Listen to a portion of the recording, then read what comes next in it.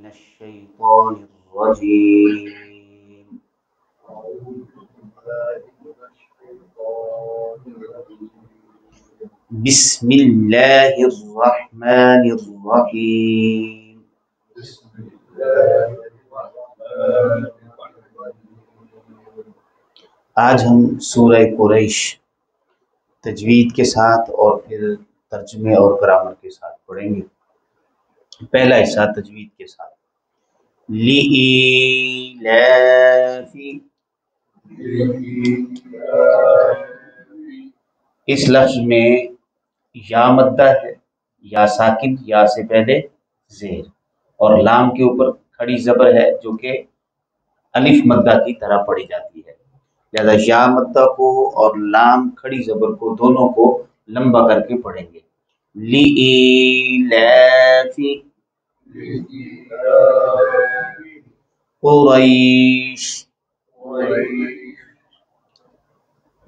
या साकिन, या से पहले जबर।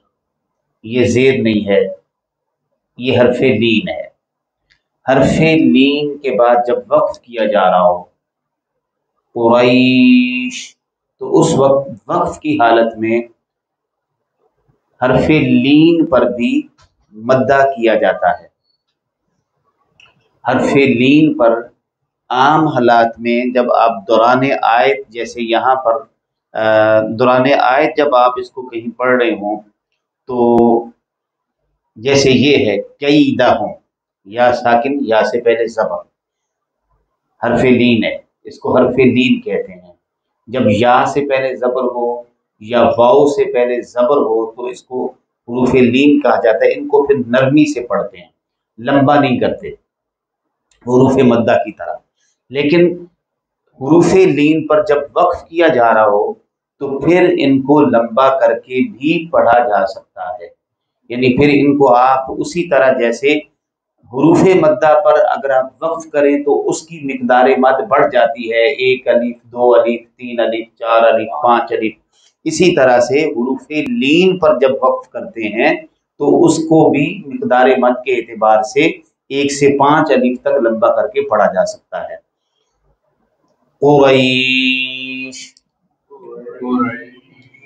इसको कहेंगे मध्य आरिज लीन वक्फी।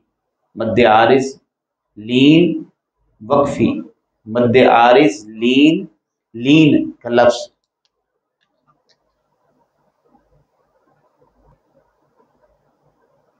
लीन। वाओ या। साकिन हो और माकबल मफतू हो। यानी जबर हो।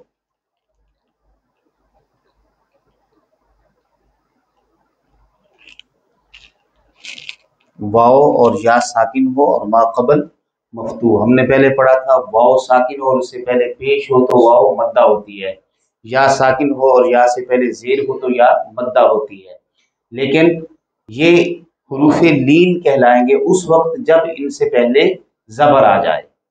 तो इनको हरूफ मद्दा की तरह दौरान आयत लंबा करके नहीं पढ़ते, जैसे वो लफ्ज भी है, अलम कैफा। कैफा, या साकिन, या से पहले जबर, हरफ लीन है, कैफा नहीं पढ़ेंगे। कैफा, कैदा। त्वरन त्वरन त्वरन नहीं कहेंगे। लेकिन जब इन पर वक्फ किया जा रहा हो, जैसे यहाँ वक्त किया जा रहा है तो यहाँ पे इसको कुरैशिन की बजाय कुरैश। बोलिएगा। तो ये जो इसका लंबा किया जाना है, ये हरफ लीन का वक्फी तौर पर जो इस पर जज्म आ रही है इससे आगे आप देख रहे हैं जब कुरैश हम पढ़ेंगे तो शीन पर जजम पड़ी जाएगी। इस वजह से यहाँ पर भी मध्य आरिस लीन वक्त भी पैदा हो गई। ली ई ली ई ली लाफ नहीं है ली लाफ नहीं है। ली ई लाफ ली अलहदा है ई अलहदा है। हाँ ये लफ्ज है ई लाफ। क्या लफ्ज है? ई लाफ। उससे पहले लामजे ली है, जिसका मतलब है के लिए। जो हम पहले भी हरफ पढ़ते हैं लामजे ली, बमाना के लिए। ली लाफी अब ये देख रहे हैं, लाम के नीचे जेर है, फिर आगे अलिफ के नीचे जेर है। ली लाफी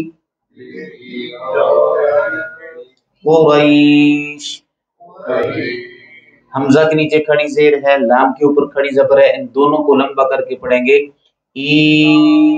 ईलाफिहिम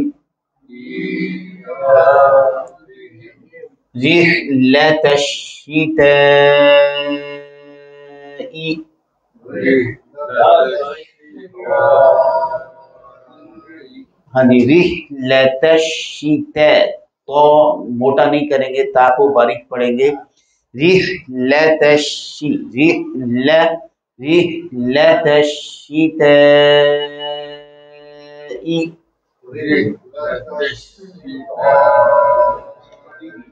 तो ऊपर नहीं ते ये आवाज होती है ताकि और यहाँ पे जो मद पैदा हो रही है ये मद मुतसिल है हमजा आ गया और ये हमजा शिता का हिस्सा है। लफ्ज अशिता का हिस्सा है, इसलिए ये मद मुतसिल कहलाएगी।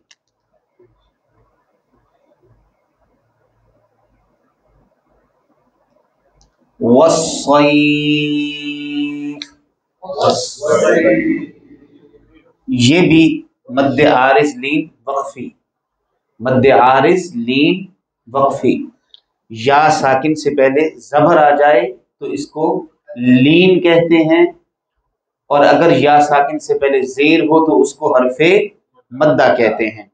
और हरफे लीन पर जब वक्फ किया जा रहा हो तो वक्फ की सूरत में इसकी मकदार मद एक अलिफ से लेकर पाँच अलिफ तक अदा की जा सकती है।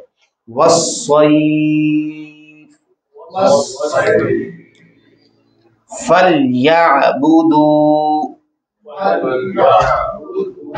वाओ साकिन वाओ से पहले पेश वाओ मद्दा। इसके बाद जो अलिफ आ रहा है वो अलिफ खाली है मगर उससे पहले जबर नहीं है लिहाजा ये अलिफ पढ़ा नहीं जाएगा। फल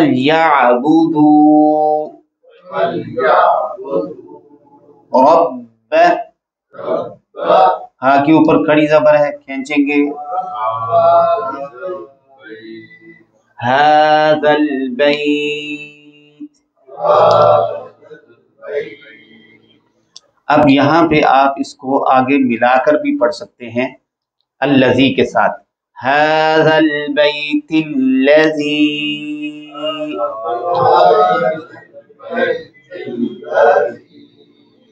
और अगर आप यहाँ पे वक्फ कर लेते हैं तो ये लफ्ज फिर अल्लजी पढ़ा जाएगा।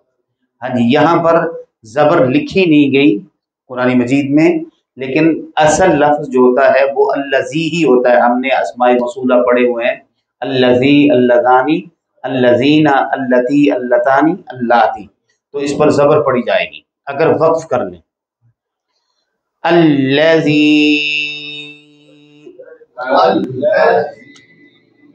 अब यहाँ पे हम मद कर रहे हैं। आप साइन भी मद का देख रहे हैं। या साकिन या से पहले जेर, ये हमें कंफर्म हो गया, ये मद है। लेकिन इसके बाद हम देख रहे हैं कि हमजा दूसरे कलिमा में है। अतआमाहुम का हिस्सा है, अल्लाजी का हिस्सा नहीं है। लिहाजा इस मद को क्या नाम देंगे? मद्दे मुनफसिल मद्दे मुनफसिल।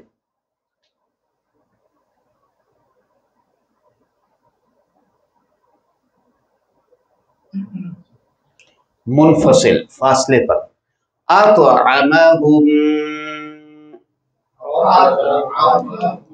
तो में कलकला करेंगे और फिर आगे मीम साकिन का कायदा आ गया। मीम साकिन के तीन कायदे हैं इख्वाइश इदगामी शफवी इख्वाई शफवी और इजहार शफवी। मेरे साथ दोहरा लें, इदगामी शफवी इख्वाई शफवी, इजहार शफवी। इदगामी शफवी कहते हैं जब मीम साकिन के बाद दूसरी मीम आ जाए। तो वहाँ पे एक मीम को दूसरी मीम के साथ जम करके, मुदगम करके गुन्ना करके अदा करते हैं। मीम साकिन के बाद अगर हर्फ बा आ जाए तो फिर उसको इख्फाए शफवी कहते हैं। मीम साकिन के बाद हरफ बा आ जाए तो यहाँ पर भी गुन्ना किया जाता है। और तीसरी सूरत होती है मीम साकिन के बाद। मीम और बा के अलावा अगर कोई हर्फ आ जाए तो उसको इजहार शफवी कहते हैं। अलम यजअल अब यहाँ देखिए यहाँ भी मीम साकिन है, लेकिन हम यहाँ मीम को ज़ाहिर करके, अलम यजअल, यहाँ भी मीम साकिन है, लेकिन यहाँ आगे बा गई है तो इख्फा करेंगे।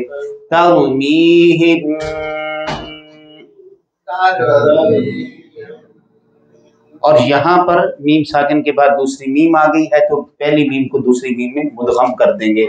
आ तो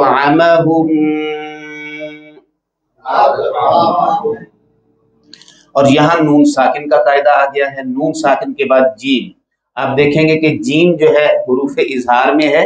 हमजा आइन गई हरूफ इजहार में जीम हमजा आइन गई हरूफ इजहार में नहीं है। तो यरमलून में है। यरमलून में भी नहीं है। लिहाजा फिर इख्वा में से है। तो इख्वा में से है तो यहाँ पर हम मिन जू नहीं पढ़ेंगे, बल्कि पढ़ेंगे मिन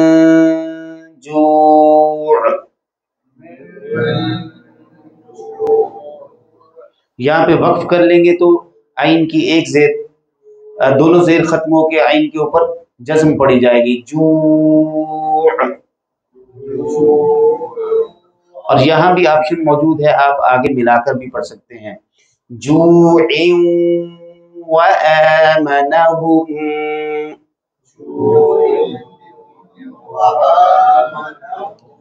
तो बेहतर है हमारी सांस छोटी होती है यहाँ पे वक्फ कर लें।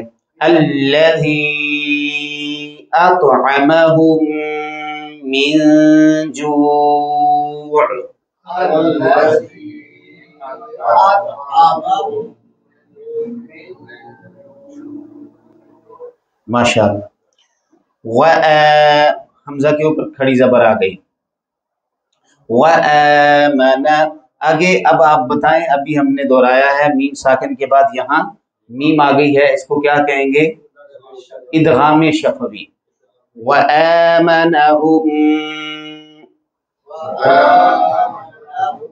या फिर नून साकिन आ गया है, और नून साकिन के बाद खा है।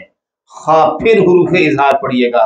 हमजा हा हा खा आइन गैन हमजा हा हा खा।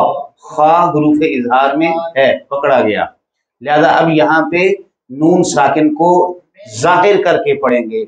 अब यहाँ पे इख्वा नहीं होगा बल्कि ज़ाहिर करेंगे मिन खौफ। मिन खौफ।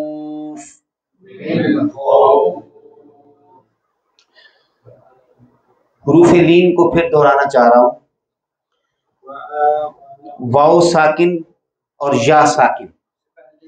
वाओ साकिन और या साकिन ये हरूफ मद्दा में भी आते हैं और हरूफ लीन में भी आते हैं। हरूफ मद्दा तीन है, अलीफ, वाओ, या। अलीफ खाली हो, अलीफ से पहले जबर हो। वाओ साकिन हो, वाओ से पहले पेश हो। या साकिन हो, या से पहले जेर अब दो हरूफ उनमें से वाओ और या। ये उस वक्त लीन कहलाते हैं जब ये साकिन हो, मगर इनसे पहले जबर हो। लीन का मतलब होता है नरमी से पढ़ना। तो इनको फिर नरमी से पढ़ा जाता है मद्दा की तरह लंबा करके नहीं पढ़ा जाता।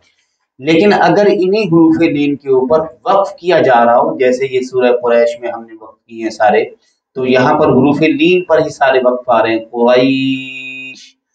कुरैश बैत और ये लास्ट में खौफ।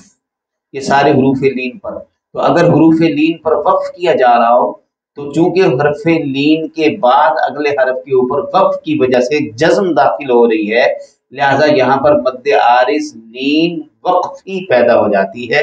लिहाजा इसको एक अलिफ से फिर पाँच अलिफ तक लंबा किया जा सकता है। दोहराएँगे सूरत को।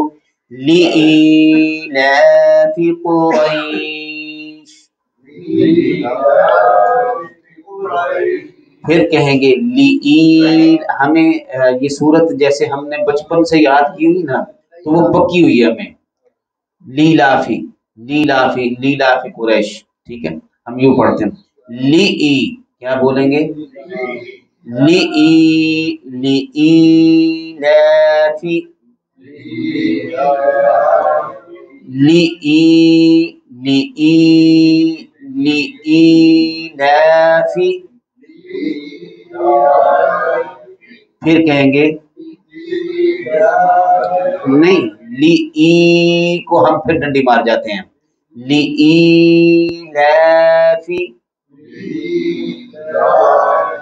अब इसको आपने प्रैक्टिस करना है, जेल में रखना है, आपको पक्का हुआ है ली लाफी ली लाफी या आप कहते हैं ली लाफी ली ई ली ई ली ई लाफी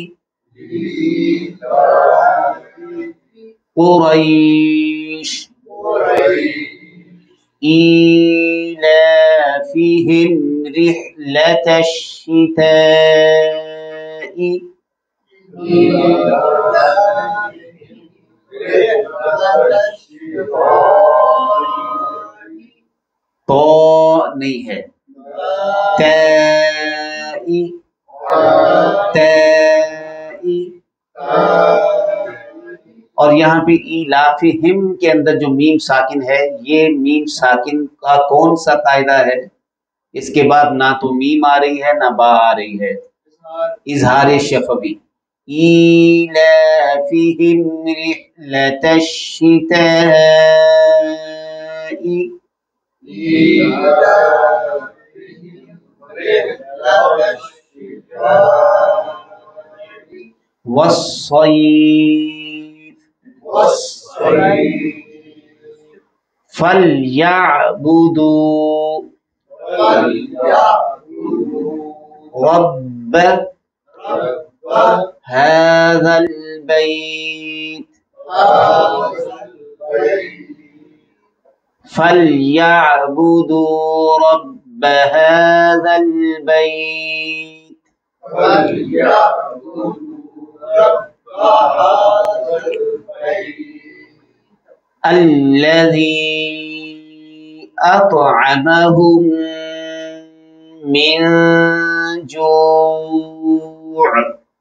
अल्लाह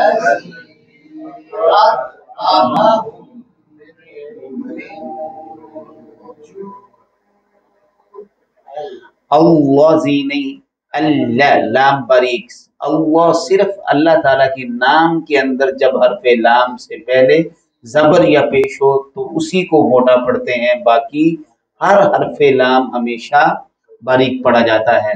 अल्लाजी, और जाल को नरम पढ़ते जी की आवाज़ नहीं आए, जी की आवाज़ की बजाय जी।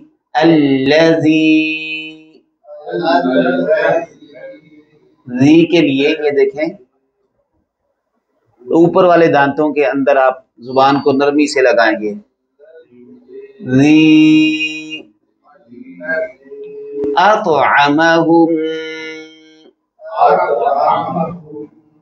अतअमहुम मिन जूअ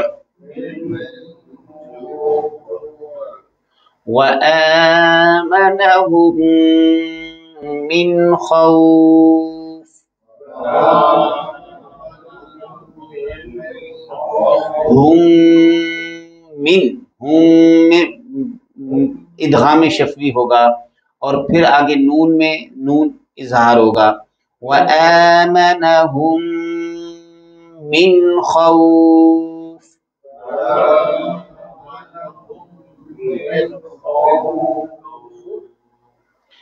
एक मरतबा खुद से पढ़ दें अब वही वही वही गलती ले इला वाली। उसको लंबा नहीं किया। ली इलाफी Thank you.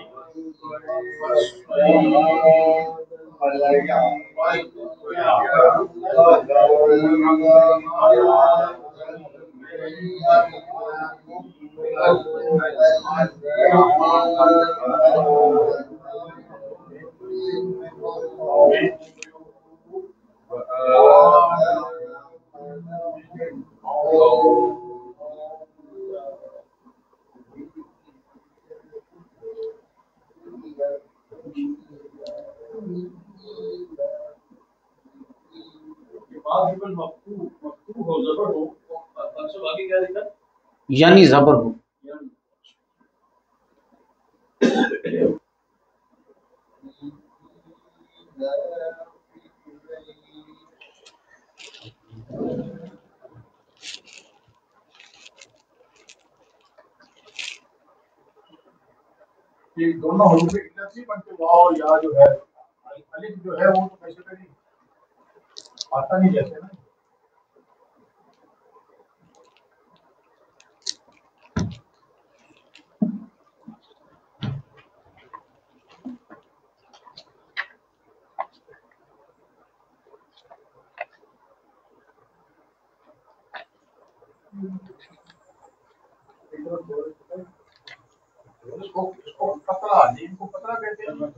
जी नरम सपना जब हम बोल में डाल रही वो पता नहीं कितने यही आदमी ने ज़रूरत नहीं वो रखा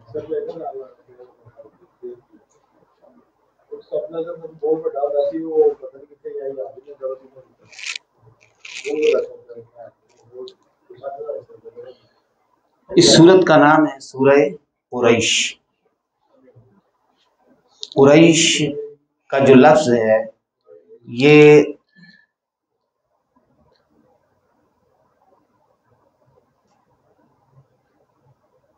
कारशुन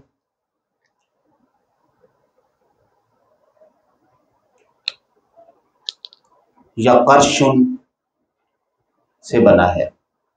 और ये इससे जी।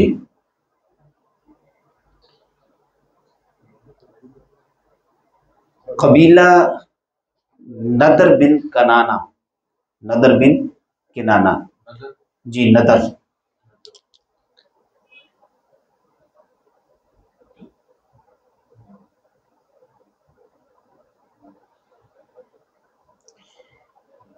ये जो शख्सियत है, इनकी औलाद को कुरैश कहा जाता है।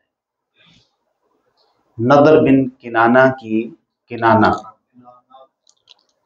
इनकी औलाद को कुरैश कहा जाता है। वजह तस्मिया ये है नंबर एक। अल्लाह पाक ने इस कबीले को बड़ी इज़्ज़त, बड़ी शान, बड़ी मर्तबत, बड़ा मकाम अता फरमाया। और वो मकाम मर्तबा सिर्फ़ इसलिए था कि इसी कबीले में से हुजूर नबी अकरम सल्लल्लाहु अलैहि वसल्लम को तशरीफ़ लाना थी। हुजूर नबी अकरम सल्लल्लाहु अलैहि वसल्लम के कबीले को अल्लाह पाक ने हुजूर की आमद से पहले हुजूर के सबब से इज़्ज़त अता फरमाई। हुजूर की तशरीफ़ आवरी से कबल अल्लाह पाक ने बैतुल्ला शरीफ की अबरहा और उसके साथियों से हिफाजत फरमाई और कुरैश को अल्लाह पाक ने इज़्ज़त दी। अगर बैतुल्ला शरीफ वो लोग गिरा जाते, मुनादिम हो जाता तो कुरैश की इज़्ज़त न रहती।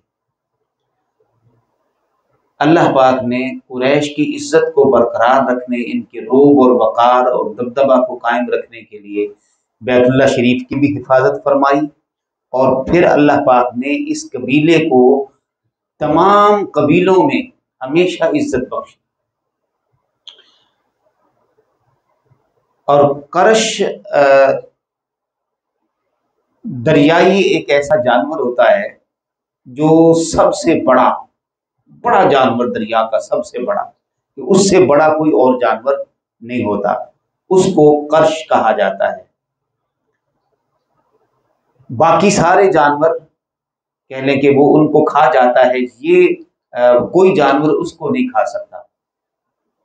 सबसे बड़े जानवर को कर्श कहा जाता है कुरैश। इस निस्बत से इस कबीले को कुरैश इसमें तस्वीर का ये सीगा है। इसी कर्श से लफ्ज निकला कुरैश। यानी वो बड़ा कबीला, जिसके मातहत फिर सारे कबीले आ जाए। हुजूर नबी अकरम सल्लल्लाहु ने इरशाद फरमाया, लोग दीन में कुरैश के ताबे लोग दीन में कुरैश के ताबे हैं। दीन अगर उन्होंने इस्लाम कबूल कर लिया है तो इस्लाम में भी जितने लोग आए, वो कुरैश के ताबे रहे। और अगर कुरैश के लोगों ने इस्लाम कबूल नहीं किया तो जो लोग कुफर पर रहे, बाकी सारे लोग उनके मातहत ही रहे। यानी कुफर में भी ये लोग सरदार थे और ईमान में भी ये लोग सरदार हुए। यानी अल्लाह पाक ने इस कबीले के अंदर हमेशा सरदारी को रखा। अबू जहल, अबू लहब, ये सारे इसी कबीले से हैं और वो सरदार रहे। और जो लोग ईमान ले आए वो भी फिर सरदार ही हुए। तो नबी अकरम सल्लल्लाहु अलैहि वसल्लम ने इरशाद फरमाया कि अल्लाह पाक ने तवील हदीस है, जिसका आखिरी हिस्सा ये है कि अल्लाह पाक ने हज़रत इस्माईल सलाम की औलाद से बनी किनाना को चुना। बनी किनाना से अल्लाह ने कुरैश को चुना और कुरैश से अल्लाह ने बनु हाशिम को चुना और बनु हाशिम से अल्लाह ने मुझे चुना। यानी नबी अकरम सल्लल्लाहु अलैहि वसल्लम अपने नस्ब मुबारक की बात करते हुए आपने अपने नस्ब मुबारक को अल्लाह का चुनाव इशार फरमाया कि ये मेरा नस्ब जो है, अल्लाह ने चुना है। तो आप हदीस पाक में आता है, नबी अकरम सल्लल्लाहु अलैहि वसल्लम ने इशार फरमाया कि मैं तुम सब में अपने नस्ब के एतबार से भी और अपने नफस, अपनी जान के एतबार से भी तुम सबसे अफजल हूँ। तो नबी अकरम सल्लल्लाहु अलैहि वसल्लम ही वजह फजीलत है। जिनके सबब से अल्लाह पाक ने उस कबीले और ख़ानदान को, अगरचे उस कबीले और ख़ानदान के लोग काफिर भी रहे तो अल्लाह ने उनसे भी सरदारी वापस नहीं ली। तब भी अल्लाह ने उनको सरदारी दी और इस्लाम का जो सबसे गालिब तबका रहा है, उसमें भी कुरैश ही तक जो निज़ाम है, वो गालिब रहा है। खुलाफा का। और कुरैश का एक आ, माना यह भी होता है कौरा शाहू उसने उसको काटा और जमा कर दिया। उसने उसको काटा और जमा कर दिया कारा शहू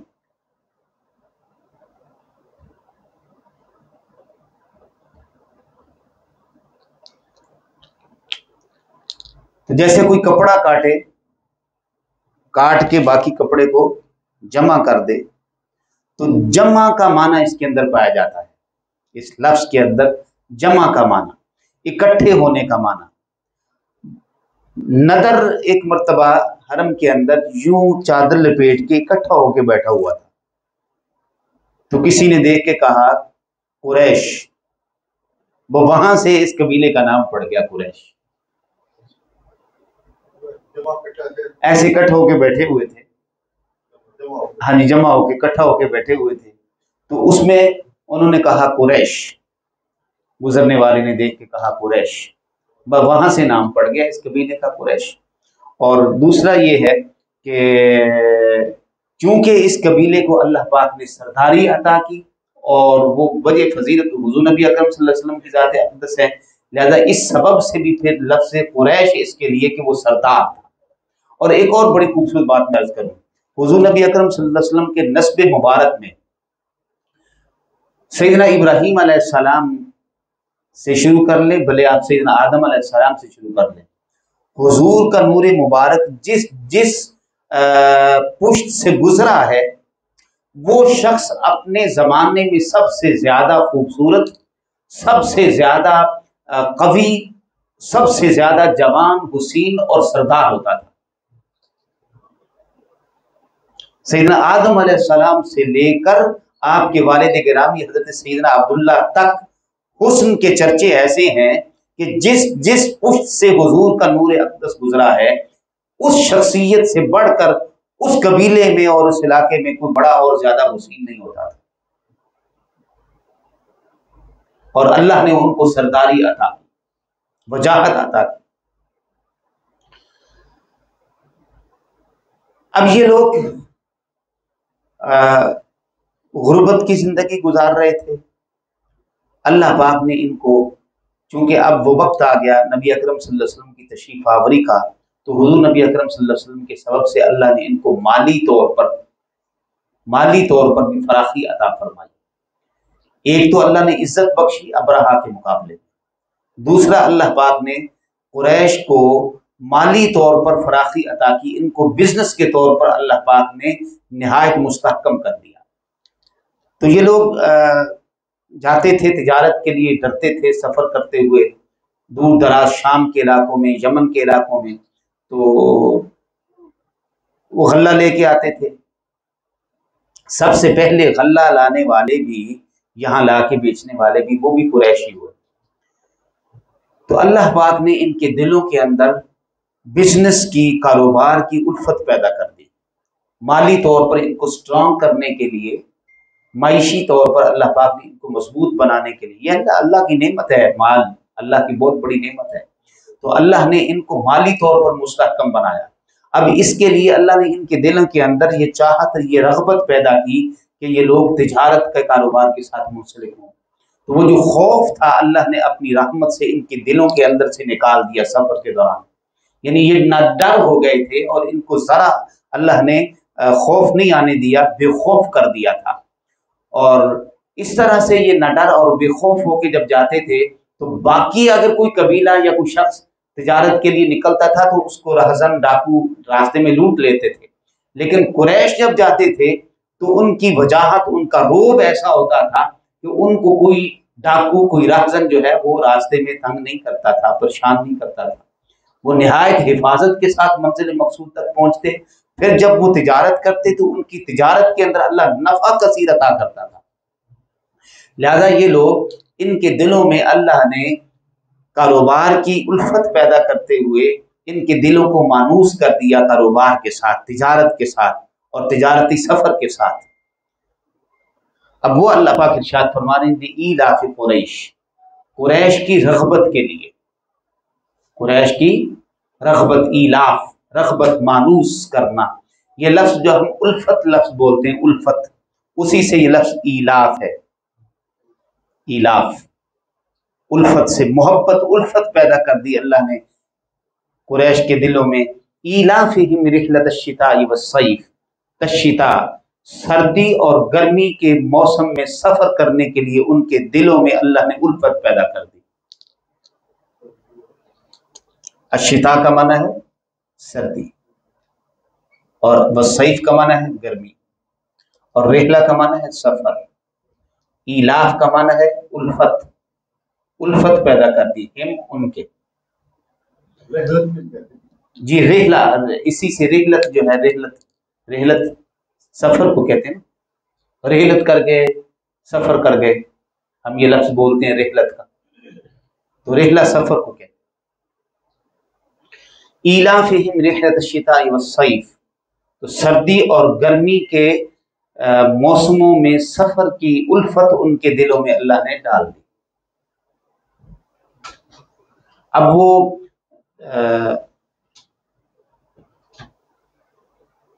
गर्मियों में शाम की तरफ़ और सर्दियों में यमन की तरफ़ इनके काफिले रवाना होते थे और फिर उसमें कसीर तिजारत और नफ़ा जो है वो लेकर आते थे। अब लोग इंतज़ार करते थे कि कब कुरैश का काफिला जाए, ताकि हम भी अपना थोड़ा माल साथ ले जाएँ और हमें भी मुनाफा मिले। और हम भी बाहिफाजत सो जो लोग इनके काफिले में शरीक हो जाया करते थे, वो भी बाहिफाजत, नफा के साथ वापस आते थे। बरकत हो जाती थी। फल या अबुदू बस अब ये बात कहने के बाद अल्लाह ने फरमाया, बस चाहिए कि वो अपने रब की इबादत करे। फल या अबुदू बस चाहिए कि वो इबादत करें रब हाजल बैत इस घर के रब की। रब रब की हाजल बैत इस घर के। अब हाजल बैत की तरफ़ ये बतौर खास इशारा इसलिए किया है ताकि ये जो घर अल्लाह ने महफूज रखा अबरहा से, वो भी इनकी इज़्ज़त अफजाई के लिए रखा है। तो दो चीज़ें हो गई। एक तो अल्लाह ने इनकी इज़्ज़त अफजाई की और इस घर की हिफाजत फरमाई। और दूसरा, अल्लाह ने इनके दिलों के अंदर कारोबार की रगबत डाल दी। इन दो चीज़ों के सबब इनको कम अज कम अब तो चाहिए कि ये अल्लाह की इबादत करें और कुफर छोड़ दें। तो जिसको अल्लाह ने नेमत दी हो, कदर दी हो, इज़्ज़त दी हो, मकाम दिया हो, इल्म दिया हो, दौलत बख्शी हो, उसे चाहिए कि वो अल्लाह की ज़रूर उतना ही इबादत गुजार करे। अल्लजी वो अल्लाह जिसने, अल्लजी जिसने अतआमा अतआमा खिलाया अतआमा खिलाया हम उनको हम उनको ज़मीर मुतसिला है। मिन जू, भूख में। जू का माना है भूख। जिसने उनको भूख में खाना दिया, खाना खिलाया। वह आ माना हूँ, और आ माना अमन दिया। आमना अमन दिया हूँ उनको मिन खौफ खौफ से। हज़रत सैदना इब्राहिम खलील ने दुआ की थी इब्राहिम आमीना अल्लाह, इस शहर को अमन का घर बना दे।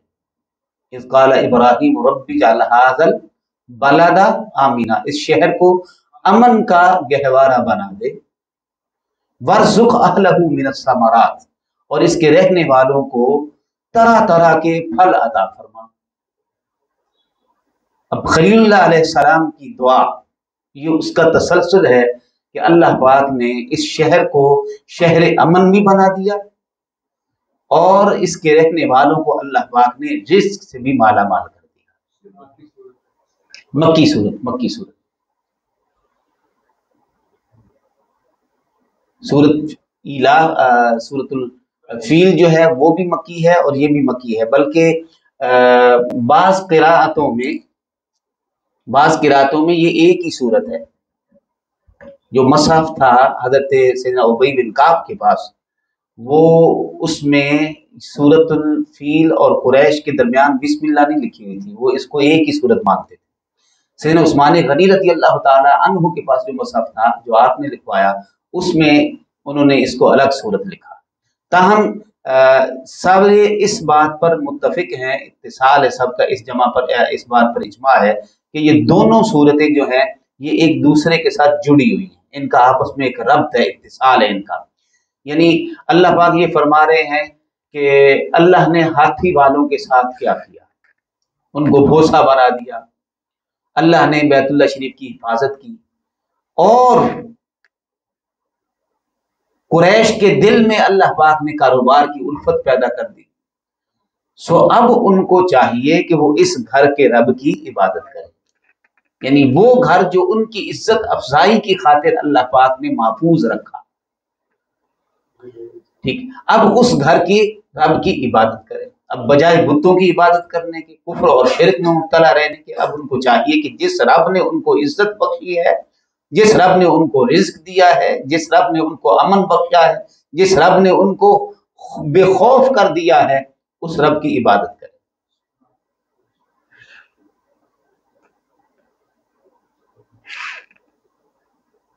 जी, कोई एनी क्वेश्चन आज के सबक में?